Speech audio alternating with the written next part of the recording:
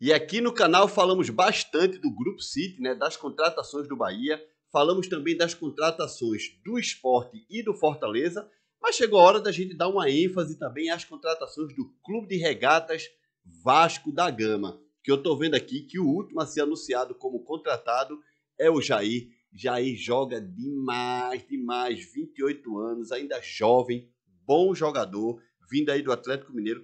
E o Jair eu conheço, né, galera? Passou pelo esporte, fez uma grande temporada no esporte antes de sair para o Atlético e ganhar tudo lá em Minas Gerais.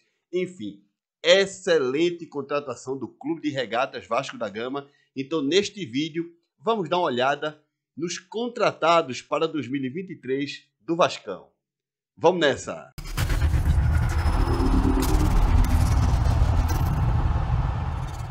E aí, galera, tudo bem? Eu espero que todos estejam passando um grande dia.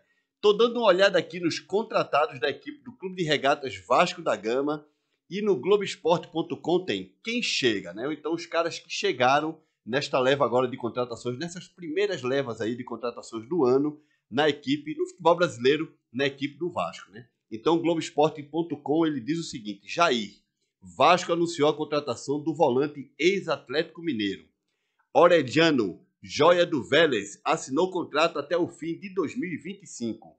Lucas Piton, lateral esquerdo, ex-Corinthians, assinou até final de 2026. Pedro Raul, atacante, foi anunciado pelo Vasco com contrato até o final de 2025. Patrick De Luca, o volante, foi o segundo reforço anunciado. Léo, zagueiro em São Paulo, assina contrato até o fim de 2025. Robson Bambu, zagueiro, chega por empréstimo até o final de 2023. Pumita Rodrigues, lateral direito uruguaio, assinou contrato até o fim de 2025. Ivan, goleiro, chega por empréstimo até o fim da temporada de 2023. Aí eu fiz uma anotaçãozinha aqui, uma anotaçãozinha aqui breve, né, aqui para abrilhantar um pouco mais esse vídeo. E o Luca Orediano tem 22 anos. O Deluca tem 22 anos. O Lucas Piton, 22 anos. O Ivan, goleiro, 25 anos. Robson Bambu, 25 anos. Pumita Rodrigues, 25 anos. Pedro Raul, 26 anos. Léo, 26 anos. E Jair, 28 anos. Então, nós temos aí um, dois, três, quatro, cinco, seis, sete, oito, nove jogadores contratados para esta, contratados para esta temporada. É o início das contratações do Vasco, né? Para esta temporada de 2023, com uma média de idade de 24 anos e meio, né? Ou seja, 24,5, tá? Uma média excelente. O cara nem é coroa e nem é menininho, né? Um cara experiente, um, uma pessoa de 24 anos tem experiência, né? E aí, ó, essa é a média de idade do Clube de Regatas, dos novos contratados do Clube de Regatas Vasco da Gama. Agora eu vou dar aqui a minha opinião sobre os contratados, né? A começar pelo Jair. Eu já falei aqui no vídeo, excelente jogador, tá? Excelente. Grande contratação do Clube de Regatas Vasco da Gama. Vai somar e muito esse time do Vasco e pode ajudar o Vasco a conquistar títulos. Excelente jogador, tá, galera? Depois o Luca Orediano.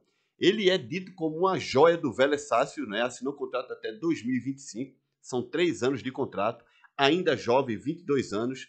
Temos que ver como é que o jogador vai estrear no futebol brasileiro. Ainda é cedo para a gente dizer, uh, chegou no Salvador da Pátria, vai arrebentar. Calma, ele é uma jovem promessa lá do futebol do Vélez Sácio.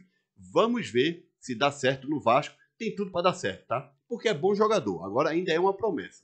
Vamos aguardar.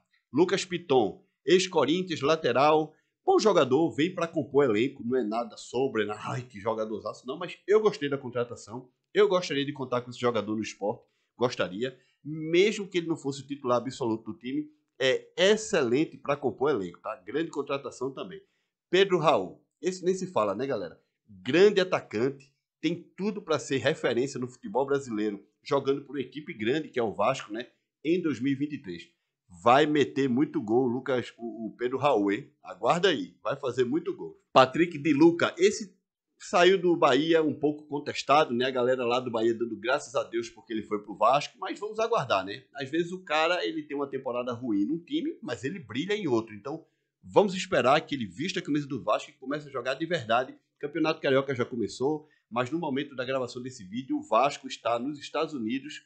Se não me engano, acho que até hoje que joga contra o River Plate. Depois vou dar uma olhada, mas vai fazer aí uma série de amistosos e um torneiozinho lá, ou amistoso, não sei, lá nos Estados Unidos.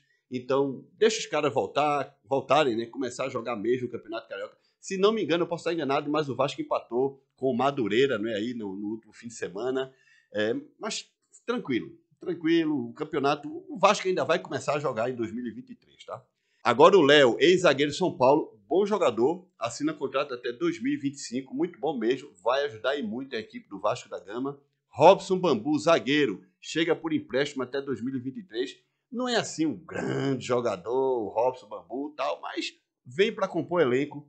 É assim, prejudicar ele não vai, tá? Então, a contratação é válida, mas não sei. Talvez desses aí tenha sido o único que talvez eu não contratasse. Mas é válida a contratação, vai compor elenco, tá bem? Se é que vai compor elenco, pode ser que seja titular, enfim. Pumita Rodrigues, lateral que foi para a Copa do Mundo do Catar 2022 é, com a seleção do Uruguai. É, não é o titular da seleção, mas ele fez parte do elenco, né? É uma jovem promessa. O Pumita está com 25 anos, né? Apesar de já ter 25 anos, mas ainda é uma jovem promessa do futebol uruguaio.